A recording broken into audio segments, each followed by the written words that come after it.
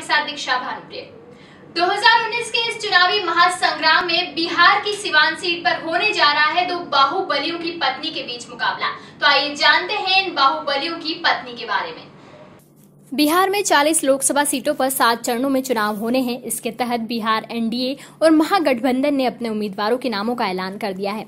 इसके बाद ये तस्वीर साफ़ हो गई है कि बिहार की सिवान लोकसभा सीट दो बाहुबलियों की पत्नी के बीच रोमांचक मुकाबला देखने को मिलेगा। बिहार महागठबंधन में सिवान सीट राजद के खाते में गई, जिसमें उन्होंने हीना शहाब को अपना उम्मीदवार बनाया है। हीना सिवान से चार बार सांसद रह चुके शहाबुद्दीन की पत्नी है। अगस्त 2004 में शहाबुद्दीन और उसके लोगों ने रंगदारी न देने पर सिवान के प्रतापपुर गाँव में दो युवकों को तेजाब डालकर जला दिया था।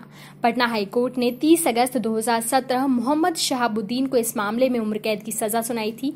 पटना हाईकोर्ट के दिए फैसले पर सुप्रीम कोर्ट ने भी मुहर लगा दी थी। हिना शहाब लगातार तीसरी बार यहाँ से चुनाव लड़ रही हैं। वहीं दूसरी तरफ़ जदयू से बाहुबली, अजय सिंह की पत्नी कविता देवी को मैदान में उतारा है। अजय सिंह पर हत्या, अपहरण समेत कई संगीन आरोप लगे हैं। कविता पितृपक्ष में बाहुबली अजय सिंह से शादी रचाने के बाद चर्चा में आ गई थी। दरअसल अजय सिंह की माँ जगमातो देवी दरुंदा से विधायक थी।